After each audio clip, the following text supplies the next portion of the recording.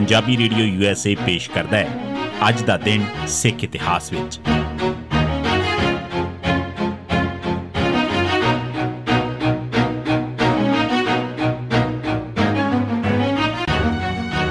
ਸਿੱਖ ਇਤਿਹਾਸ ਦੀਆਂ ਘਟਨਾਵਾਂ 'ਚ 5 ਅਕਤੂਬਰ ਦਾ ਦਿਨ। 1708 ਬੰਦਾ ਸਿੰਘ ਪੰਜਾਬ ਨੂੰ ਚੱਲਿਆ, ਗੁਰੂ ਗੋਬਿੰਦ ਸਿੰਘ ਜੀ ਉੱਤੇ ਜਾਨਲੇਵਾ ਹਮਲਾ। ਬੰਦਾ ਸਿੰਘ 5 ਅਕਤੂਬਰ 1708 ਦੇ ਦਿਨ ਨੰਦੇੜ ਤੋਂ ਪੰਜਾਬ ਵੱਲ ਚੱਲ ਪਿਆ। ਗੁਰੂ ਜੀ ਨੇ ਉਸ ਦਾ ਸਾਥ ਦੇਣ ਵਾਸਤੇ ਕੁਝ ਸਿੰਘ ਵੀ ਨਾਲ ਭੇਜੇ।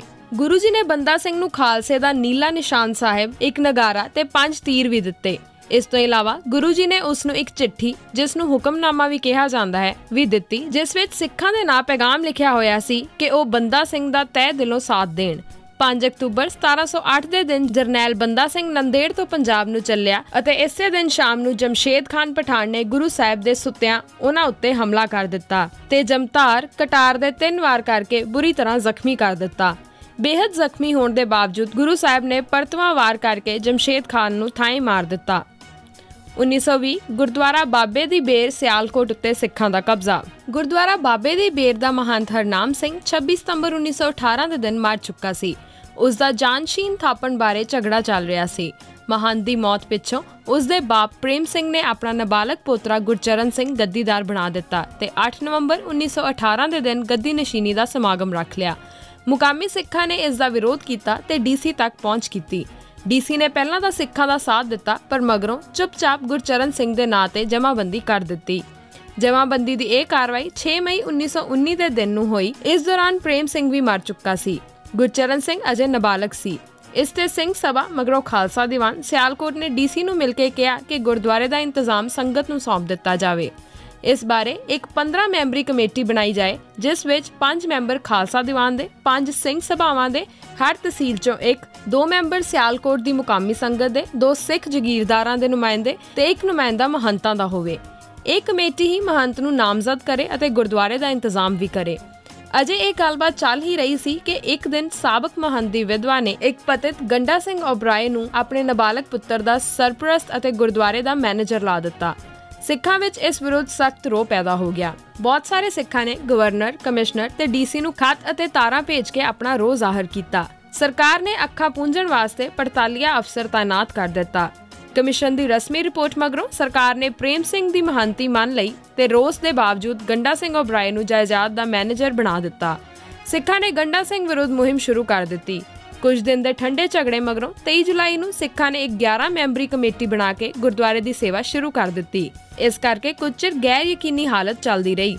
20 ਅਗਸਤ 1920 ਦੇ ਦਿਨ ਅਦਾਲਤ ਨੇ ਫੈਸਲਾ ਦਿੱਤਾ ਕਿ ਸਿੱਖ 50000 ਰੁਪਏ ਕੋਰਟ ਫੀਸ ਲਾ ਕੇ 10 ਦਿਨ ਦੇ ਅੰਦਰ ਅੰਦਰ ਦਾਵਾ ਦਾਇਰ ਕਰਨ। ਸਿੱਖ ਆਗੂਆਂ ਨੇ ਫੀਸ ਭਰਨ ਦੀ ਥਾਂ ਰੋਸ ਪ੍ਰਦਰਸ਼ਨ ਕਰਨ ਦਾ ਫੈਸਲਾ ਕਰ ਲਿਆ।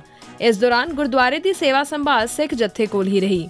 ਸਤੰਬਰ ਦੇ ਦੂਜੇ ਅੱਧ ਵਿੱਚ ਬਾਬੇ ਦੀ ਬੇਰ ਦਾ ਮਸਲਾ ਫਿਰ ਪੱਕ ਪਿਆ। 21 ਸਤੰਬਰ ਦੇ ਦਿਨ ਮੋਚੀ ਦਰਵਾਜ਼ਾ ਲਾਹੌਰ ਵਿੱਚ ਸਿੱਖਾਂ ਦਾ ਇੱਕ ਇਕੱਠ ਹੋਇਆ। 5000 ਸਿੱਖਾਂ ਨੇ ਇਸ ਇਕੱਠ ਵਿੱਚ ਪ੍ਰੇਮ ਸਿੰਘ ਸੋਢੀ, ਸਰਦੂਲ ਸਿੰਘ ਕਵੀਸ਼ਰ, ਮੋਤਾ ਸਿੰਘ, ਗਿਆਨੀ ਸ਼ੇਰ ਸਿੰਘ ਵਗੈਰਾ ਪੁੱਜੇ। ਇਕੱਠ ਨੇ ਗੁਰਦੁਆਰਾ ਬਾਬੇ ਦੀ ਬੇਰ ਸਿਆਲਕੋਟ ਦੇ ਪਤਿਤ ਮਹੰਤ ਗੰਡਾ ਸਿੰਘ ਵਿਰੁੱਧ ਮਤਾ ਪਾਸ ਕੀਤਾ। ਇਸ ਬਾਰੇ ਖਬਰਾਂ ਵਾਇਸਰਾਏ ਤੱਕ ਵੀ ਪਹੁੰਚੀਆਂ। ਵਾਇਸਰਾਏ ਨੇ ਗੁਰਦੁਆਰੇ ਦਾ ਇੰਤਜ਼ਾਮ ਸਿੱਖਾਂ ਦੇ ਹਵਾਲੇ ਕਰਨ ਬਾਰੇ ਹਾਂ ਪੱਖੀ ਰਵਈਆ ਦਰਸਾਇਆ। ਇਸ ਮਾਹੌਲ ਵਿੱਚ ਸਿੱਖਾਂ ਦਾ ਇੱਕ ਇਕੱਠ ਸਿਆਲਕੋਟ ਵਿੱਚ 5 ਅਕਤੂਬਰ ਨੂੰ ਬੁਲਾਇਆ ਗਿਆ। 4 ਅਕਤੂਬਰ ਦੀ ਰਾਤ ਗੁਰਦੁਆਰੇ 'ਚ ਭਾਰੀ ਦੀਵਾਨ ਹੋਇਆ। ਇਸ ਦੀਵਾਨ ਵਿੱਚ ਖੜਕ ਸਿੰਘ ਮਗਰੋਂ ਬਾਬਾ ਦੀ ਸਦਾਰਤ ਹੇਠ ਗੁਰਦੁਆਰੇ ਦੇ ਇੰਤਜ਼ਾਮ ਵਾਸਤੇ 13 ਸਿੱਖਾਂ ਦੀ ਇੱਕ ਕਮੇਟੀ ਬਣਾ ਦਿੱਤੀ ਗਈ। 5 ਅਕਤੂਬਰ 1920 ਦੇ ਦਿਨ ਇਸ ਕਮੇਟੀ ਨੇ ਗੁਰਦੁਆਰੇ ਦਾ ਪੂਰਾ ਇੰਤਜ਼ਾਮ ਸਦਾ ਵਾਸਤੇ ਪੱਕੇ ਤੌਰ ਤੇ ਆਪਣੇ ਹੱਥਾਂ ਵਿੱਚ ਲੈ ਲਿਆ। 1983 ਢਿਲਵਾਂ ਵਿਖੇ ਬੱਸ ਵਿੱਚੋਂ ਕੱਢ ਕੇ 6 ਹਿੰਦੂ ਮਾਰੇ ਗਏ।